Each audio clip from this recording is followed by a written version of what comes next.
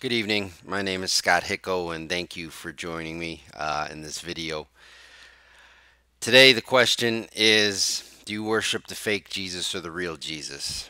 And the information is coming from the book of Hebrews in the New Testament of Scripture. The book of Hebrews says that Jesus Christ came and tasted death for the sake of everyone. That's the real Jesus. And my question is do you believe in that Jesus or do you believe in the fake Jesus that came and died but didn't really taste death for everyone? He only potentially tasted it for them if they do something on their end to achieve his death. That's the fake Jesus. The real Jesus tasted death for everyone. So if you actually, as scripture says, that Jesus tasted death for everyone,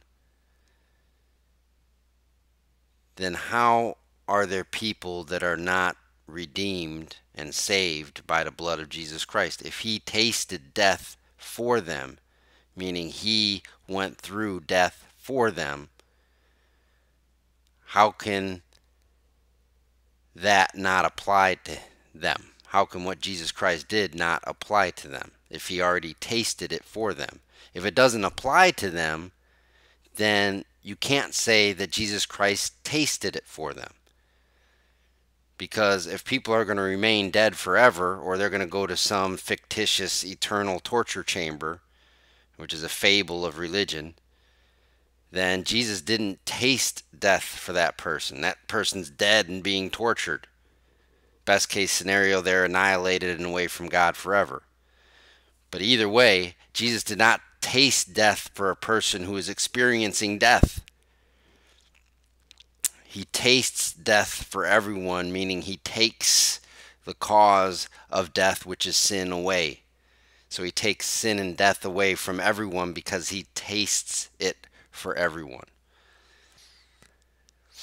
If we look at Hebrews chapter 2, verses 8 through 10, it says, For in subjugation of all to him, he leaves nothing unsubject to him. Yet now we are not as yet seeing all subject to him. Obviously, many demons, Satan, um, entities, principalities, powers, human beings are not subject to Jesus Christ right now. But let's see what happens in the fullness of time.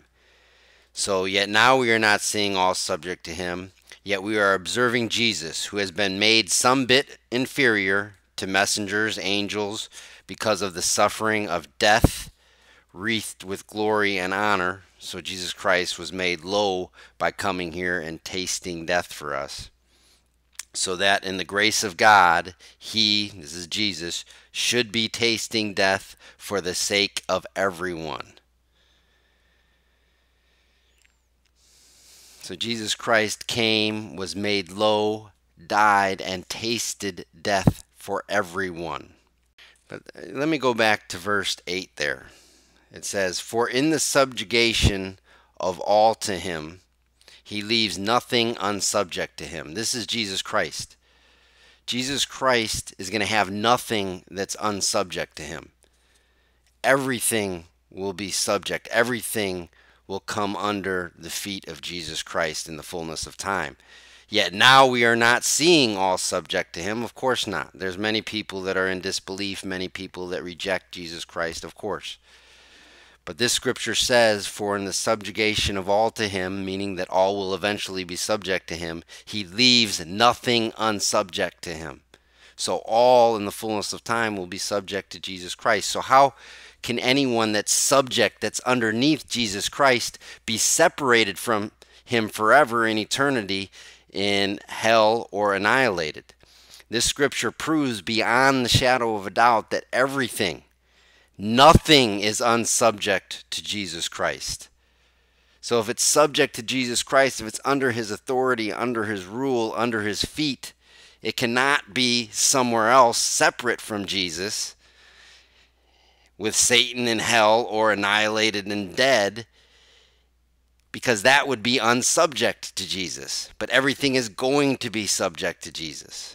And there's parallel verses in First Corinthians chapter 15, verses 22 through 28. Also in Ephesians, the end of chapter 1, verses 20 to 23, is the same thing. It talks about how everything in the fullness of time will be subject to Jesus Christ. So, how, if they're subject to Jesus Christ, and Jesus Christ tastes death for everyone, can they be off somewhere else in hell or dead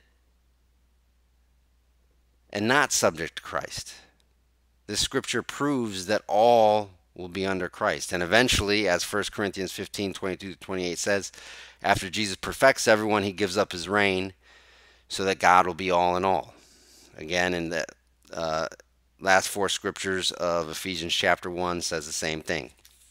And Hebrews uh, chapter 2, 8 through 10 says the same thing. Look at these scriptures. It leaves no room for the fake Jesus that leaves part of his creation or most of his creation apart from him in eternal hell or apart from him in some sort of eternal death or annihilationism.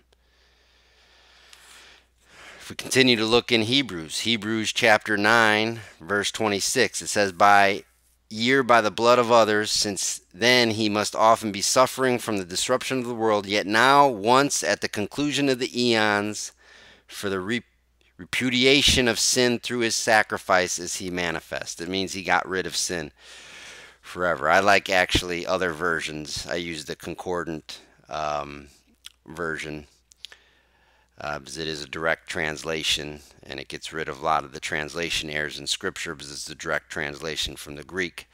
Um, but here, if you look at other uh, versions of the Bible, I think it says it in a more understandable way. So if you look at the New International Version, but he has appeared once and for all at the culmination of the ages to do away with sin by the sacrifice of himself. New Living Translation. But now, once for all time, he has appeared at the end of the age to remove sin by his own death as a sacrifice. He has appeared, English Standard Version, once and for all at the end of the ages to put away sin by the sacrifice of himself. Uh, everyone's favorite, the New King James or the King James Bible. Now, once in the end of the world hath he appeared to put away sin by the sacrifice of himself. The New King, King James Version. He has appeared to put away sin by the sacrifice of himself. So, my question is, and this is really part two to this video did he put, did Jesus Christ put away sin with his sacrifice, or did he only potentially put away sin by his sacrifice? Scripture says that Jesus Christ came and he put away sin through his sacrifice and that he tasted death for everyone. That's the real Jesus. Do you believe that? Or do you believe the fake Jesus of religion? That he came to put away sin, but it's only an offer. And if the human being does what they're supposed to do, then and only then did Jesus put sin away from them.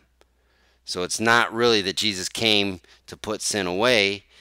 He came to make an offer, and it's ultimately up to the human beings to make the realization or the decision as to whether that sin was actually put away. Because if the sin is still in a person and they're in hell or they're dead for all eternity, then that sin was not taken away.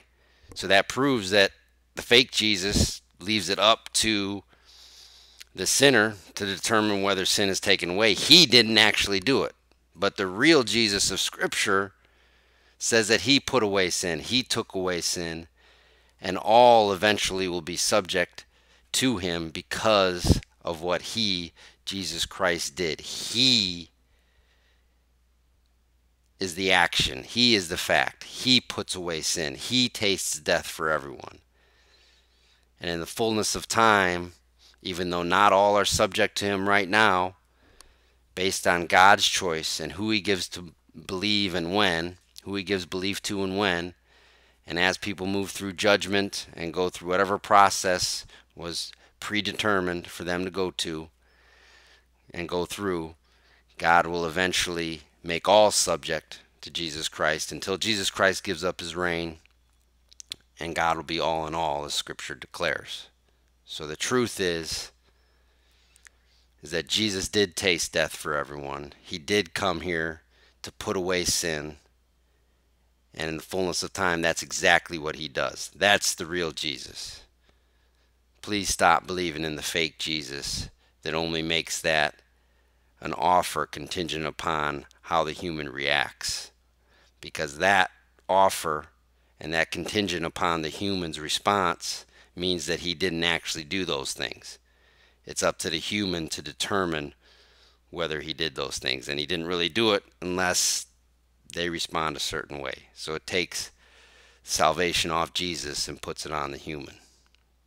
Give up on that fake Jesus and just rest in the real Jesus that he tasted death for you, for your loved ones, for all humanity. And that we will all be with God and be all in all because of the death, entombment, and resurrection of Jesus Christ.